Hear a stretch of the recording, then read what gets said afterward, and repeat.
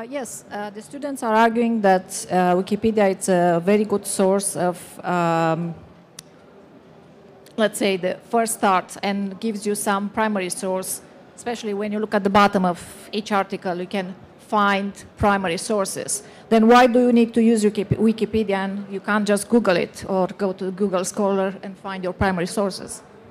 Uh, I'd like to say something here. I don't want to be blatant or rude, but Ms. Sabha, your, the point you just stated was naive and misinformed. Wikipedia takes responsibility. It's three core principles. I don't remember all three off the hat, but it's validity, neutral, neutral point of view, and uh, a third one which I don't remember. And in those, if you read, if you've taken the time to read Wikipedia statements there, they clearly state that we are not passing the buck on to our users. We do have a team that evaluates, and, uh, uh, and not just a team, but even a software that evaluates all information that's put on there. And 42%, that's the exact statistic that you were talking about, 90%. 42% of information is corrected immediately in such a manner that users don't even realize that it, the misinformation was there to begin with. And most of the misinformation that is there on Wikipedia, which causes uh, misconception in the minds of people, is about live celebrities that this person's dead and this person's alive. But they have a separate clause for uh, defamation of living people. Uh, so they, Wikipedia clearly differentiates between scientific and philosophical and other such matters and information relating to living people. So they also, it does not pass the buck on to its users. Porat, not they all. also admit that they, uh, not all the information can be trusted. Wikipedia Uh, I can admits take it, this. Johan, admits it himself. Johan, it- I can take this. Actually, before you start, sorry, I just want to further support um, my teammate Porov. Um, following on, it actually does have a, a very strict policing guideline, and um, these five rules, if you'll allow me to elaborate, is um, Wikipedia is an encyclopedia, it, which is what I mentioned before. Um, it has a neutral point of view. Um, it's, it's free content. Wikipedians should interact in a respectful and civil manner. And um, it doesn't have firm rules. So anyone can come on, it- they can edit, they can revise, they can read, re edit. There is a, a minimum por- uh, period of 14 days where um, an article is supposed to be up online before it can be re edited. Um, but isn't that just the same as peer reviews? I mean, this is what makes me nervous when academics start talking about peer reviews. Um, and it's sort of a uh, a debate between the masses because at the end, uh, when it comes to peer reviews, isn't that exactly what uh, Wikipedia is? The only difference, what we have found between Wikipedia and scholarly journals, the only difference that we can find, they're both articles. The only difference, I'll reinstate, is that scholarly journals are edited and reviewed before publication, whereas Wikipedia is reviewed afterwards, which gives the, you know, it gives a more liberal stance where someone, if they do spot an error, um, for journals, it's too late. Like, like Chintan said before, Nobel Prizes have been retracted, scholarly journals have been retracted, whereas with Wikipedia, you have, you, you have the, the access to this information and um, you, you can actually edit if you see that there is something wrong. Very well said. However, I think you skimmed over quite a lot of what the Wikipedia disclaimer views are. And I, I'll actually quote it, all right? Wikipedia actually has a no contract disclaimer where it says that the the information that is being provided to you is being provided for free, it disclaims itself of any contract being drawn up between the users and itself. In other words, it says that there is no agreement, there is no promise made for providing accurate information. And with regards to what you said about Wikipedia being uh, neutral, I am afraid that's really not the case because Wikipedia does have editors who are working on it, and the editors are actually adapting the articles and editing the articles to their own biases. For example, Wikipedia has a very strong um, stance on global warming where it supports the doomsday, very extreme versions of the, of the doomsday theories when it comes to global warming. So in, in other words, it supports articles that have actually been discredited by the scientific community because it supports their agenda. when we talk about discreditation in the scientific community, I think we have to remember that once a um, an article or something is published inside a scientific journal, it's already considered old, old news. For example, when a virus is coming out, it's constantly being changed. How many times have we had to change the, the books of history? We've had to change because wars have come out unexpectedly. Um, South Sudan is now a country, which wasn't a few years ago in books, which now you can easily find online in Wikipedia. Uh, for example, when the new planet came out, there was a new planet that was discovered a few years ago. We had no idea that this was even in, in existence in our solar system, and Wikipedia gives the easy, quick, reliable, fast, online use, which these days, let's be honest, we live in a technological world. The first thing you do, you don't go running to the library looking for a book which isn't even there because it hasn't had the time to be updated. Whereas on Wikipedia, as I said before, you do have you do have that access to information, the quick access, and if you see that there is something wrong, it easily gives people who are interested, who have they have no intention of making it biased or slanted, they go and they give their, their view or the facts that they have. Okay, point taken. Thank you, I'd Jessica. like to add a little bit to And that. how do you know Uh, that something is wrong? I'll Wha- tell you. What about if you are reading an article or researching something that you are not expert on? For example, any of you can tell me who is um, Leon Robert de L'Astran? Nope. No. I wouldn't also know who is it. Yeah, so I'll go to Wikipedia, research, and I find that he was living in 18th century and it was an anti-slavery ship owner.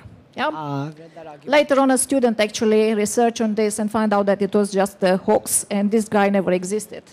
Ex- So, who is good enough to actually say that the article is completely correct? Ma'am, uh, with all due respect, your point was actually in our favor, not yours, because uh, the very fact that this was found and removed shows that Wikipedia is constantly striving to give reliable information out to the public. Gaurav, what happened in in addition to that, What just, just one second. Nobody answered Sabah's point of, uh, what did she say? Global warming, yes. Well, uh, Wikipedia flags articles as neutral point of view or not. So I'm pretty sure the articles about global warming must not have been flagged as a neutral point of view article. And in addition to that, if people can celebrate Julian Assange for giving out free information on WikiLeaks, then why not celebrate Wikipedia for giving out all complete free information to the public, even though it has been discarded by scientific journals?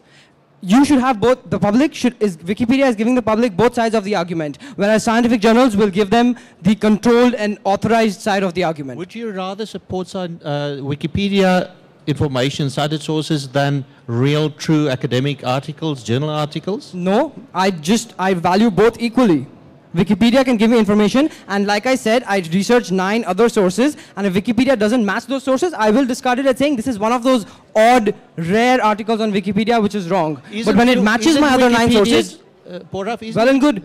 Poraf, isn't Wikipedia just an easy way out, a lazy way out for no, students? it's, it's a simple way out, and we're students. We are not That's PhD level researchers, so we need the simple way at a beginner's level, at an undergraduate level. The problem over here is that you are gauging Wikipedia according to its stronger articles. Whereas, so if it comes to articles about uh, Klingon language or Doctor Who, the history of Doctor Who, or My Little Pony, then yes, it's very useful. I love it for that. All right. However, the problem. All right. Yes. Okay. I am being trivial, trivial over here, but I'm making a point that it's a very good source for trivial information that might or might not be correct. What you should do is gauge an source of knowledge by its weakest entries, not by its strongest ones. So at the end of the day, you can't trust Wikipedia because you just don't know Yeah, whether it's accurate or not. The most popular articles might be more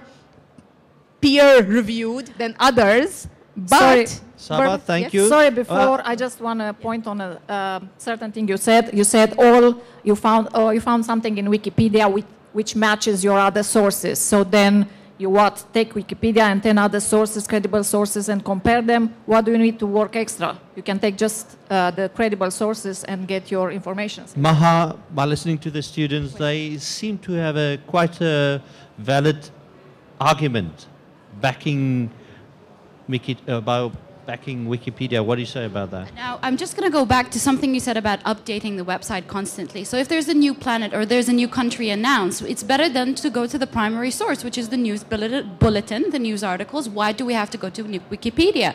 Because at the end of the day, when we talk about research, we always encourage our students to go for the primary source rather than the secondary. And secondly, to add on the notion about editing and updating, it's a question of who monitors that information, who chooses to edit that information. Information because there was an incident where there was a particular person, a particular writer who wanted to update an article. He went and did that a few times. He wasn't able to do so. So there is a sense of control, a very strong sense of surveillance that goes on Wikipedia, though it's not, though it's not evident to the public. Thank you, Maha. I think- Chintana, uh, Jessica, please. Chintana, you've been quite quiet so far. I'm sorry. I was You just want to listening- add something? I was just listening to some of the things they said. Um, M- Ms. Saba, you said that um, Wikipedia is trivial to a sense, right? But we're talking from an academic perspective. We're not talking about Doctor Who and Klingon language. We're talking about from, acad- from an ac- academic perspective. So in that case, if Wikipedia has an article that is backed up by sources, which we will see when we click those sources, why is it so let's say, taboo to use them in an essay. It makes sense. The information is backed up by numerous sources, by numerous authors. Okay, just because the person who wrote the article does not have, say, um, his career is not, say, brain surgery, it doesn't make a difference if that information is backed up. If that information is accurate, that's all that matters. May I Before, add Sa- be- before Saba answers that question or that notion, uh, Jan, uh, Poraf briefed you properly. What, what did he brief you on?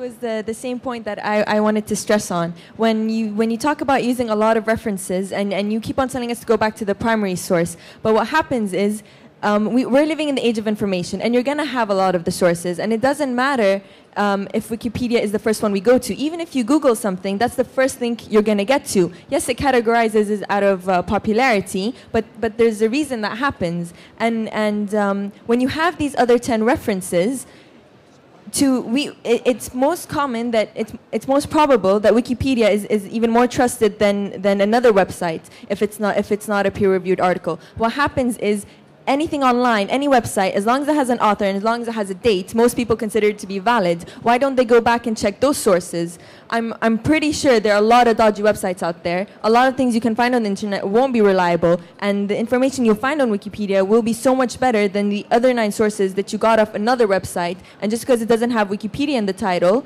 doesn't make it re- reliable or trusted. It seems to be it's all about validity. Saba, uh, Maha.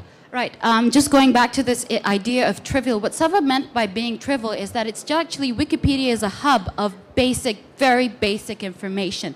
It is just facts, small facts here and there. We don't actually contest that notion. We do agree that Wikipedia is a good platform to establish a sense of knowledge, but it's a question of reliability. Can we rely on a source that has a history of having vandalism occurring all the time, of people editing information, taking out information? Who monitors that information again? Who decides what information goes in and what information goes out? Thank you, Maha. Poraf, the last point, and Yeah. then we'll start wrapping up. My closing statement. Uh, No, I- this is not your closing statement. Well, this is your last. No, I don't want to say we'll- anything else after this. I would like to add a Uh, point then before we get to the closing statements, if that's your closing statement, which I was going to add to before, if you don't Sure, mind. sure. Um, I think the main point that we have missed here, what Saba you've just said by yourself, which I tried to say before, is the fact that we're only as strong, or a website is only as strong as its weakest link, right? Given the fact that Wikipedia, it trusts this, it trusts the information, it trusts the other Wikipedians who constantly add to the website. We are only further editing what has been written. We are not actually completely retracting what has been said. Scholarly journals, once again, have been completely retracted. It's rendered completely invalid because of whatever reason. Whereas Wikipedia, if it sees a tiny error, it acknowledges that the rest of the article is still valid, but there's only a few tiny little details that might need to be edited, not completely retracted or completely re edited. So I think that's another important point you you, need to keep in Jessica. mind. Let's start wrapping Now- up. 30 seconds, Poraf. All I want to say is that in terms of this, this entire argument about Wikipedia, uh, it is a very reliable source of information as a starting point. We are undergraduate level students. We have just started for venturing into the area of research and proper thesis assignments. So, and like she said, we're in the age of information. Incre- developments in technology, innovation, it's all about simplifying our lives not making them more complex. And that's what Wikipedia does. It simplifies our lives, gives us all the information at one online place. It's easy to access. And as far as the reliability is concerned, that is, Uh, we ref- research our assignments properly and always compare it against other sources. Thank you. Point taken, Poraf. Jan, 30 seconds, please.